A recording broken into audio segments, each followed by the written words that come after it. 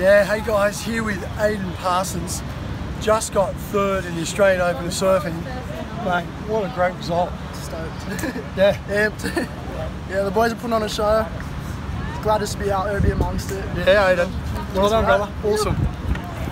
Well, I'm here with Carve team rider Philippa Anderson, who's just come away with third place in the Australian Open Pro Cronulla Beach.